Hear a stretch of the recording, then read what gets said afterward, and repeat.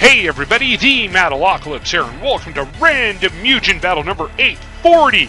Today we have a 2 versus 2 battle here as Bowser and Ryugen teaming up again to go up against a new team here of Wolverine and Shadow Man. Yeah, Shadow Man firing Metal Man as partner. He went out and he recruited Wolverine here to uh, replace Metal Man. Let's see how this does. We end up on uh, the Sugar Cube Corner stage. Kind of an interesting stage for this battle to take place. Well, Wolverine and Shadow Man start off getting obliterated here.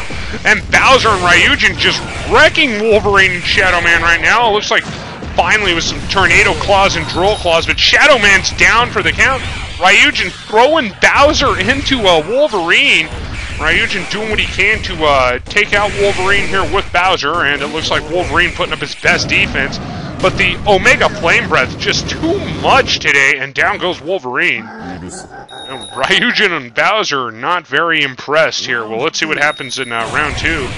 Much the same starting off here. Shadow Man and uh, Wolverine just getting obliterated here by uh, Ryugen and Bowser, which is quite surprising. Uh, there we go, a Tornado Claw, but it looks like, oh, there's the Doom Portal attack from Ryugen just opens it up and he takes out Shadow Man and Wolverine here in record time. And so Bowser and Ryugen getting a win here today. And I certainly hope everybody enjoyed Random Mugen Battle 840. Stay tuned, as up next will be Random Mugen Battle 841, and that one is coming soon.